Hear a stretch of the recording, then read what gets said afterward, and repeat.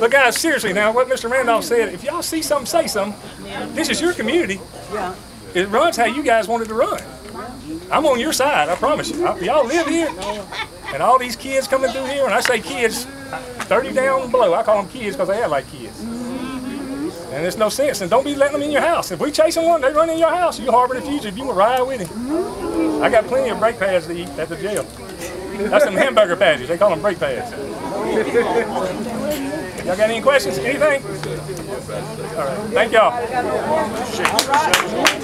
Okay, our last, our last speaker will be the chairman of the Selma Housing Authority, Mr. Sean Van Diver.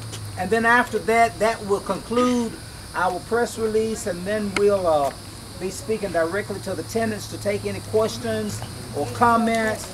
Uh, but we would like to speak to you all, uh, because that's why we call you all out here.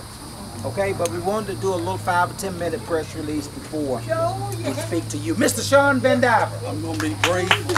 All right. Thank you. We're here to support the housing authority to, to in turn support y'all. So if they ask y'all to do something, it's for a reason, okay? I'm from the hood of Baton Rouge, so I understand what it be to live in the hood. I got the tats and all that too.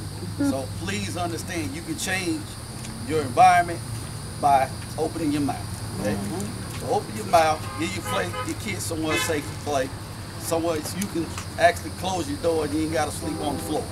So y'all keep that in mind. For us to be able to do that, y'all gonna have to help. We need your partnership just as well as we got the partnership sheriff department. We got officers at the housing authority. They really need your help because you live here. You know who doing what. Bottom line, you know who's shooting. You know little Timmy got that AK, got that switch. You know who got it. So let us know so we can take them off the street, okay? Thank y'all for Okay, we appreciate press. We really appreciate y'all coming out.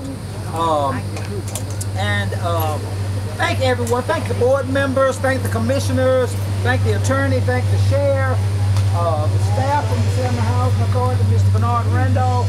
Thank everyone, and we thank the tenants for coming out. All right. So if y'all will hold on just a few minutes, let's transition, and we'll come directly into this meeting. Okay?